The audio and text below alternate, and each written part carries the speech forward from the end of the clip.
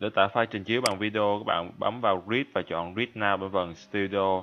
Ở đây bạn có thể chọn Styron Crash để tạo mới hoàn toàn hay chọn Edit a Ready-made Power Tool để chỉnh sửa lại video clip sẵn có. Bạn chọn Edit để bắt đầu.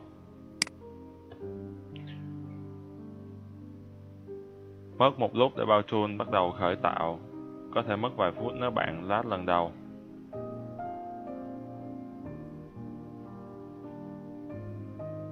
Và đây là khung làm việc của Power Tool vì dùng à, tài khoản miễn phí nên thỉnh thoảng sẽ có những cái bản quảng cáo hiện lên.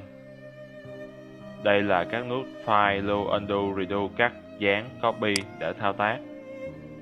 Muốn chèn văn bản các bạn ấn vào nút test ở đây bạn có thể chọn màu, phông, kích thước cho chữ cái.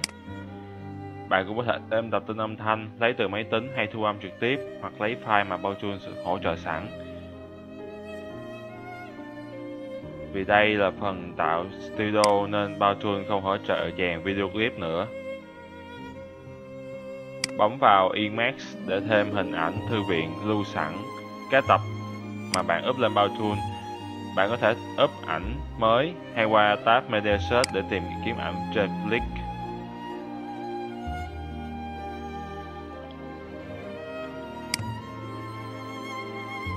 hai nút Read và Edge thể hiện chia ô và đóng khung khi thao tác.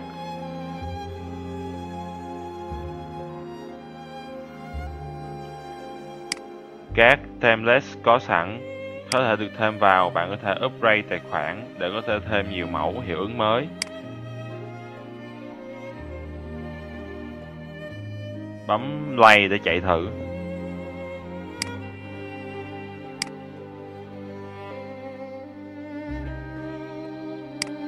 Hay là mình sẽ bấm review để chạy thử video mà mình sẽ tạo ra.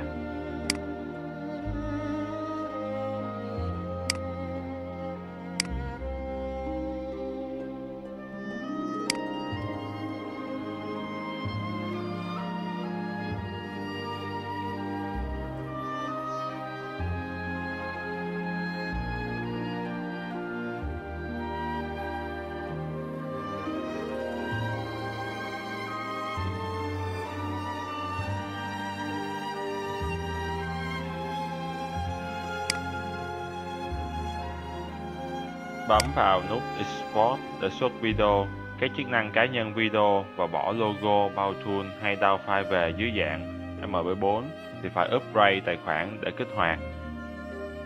Bạn chọn up lên YouTube, đăng nhập vào tài khoản YouTube. Tài khoản free chỉ hỗ trợ video phân giải 480 pixel.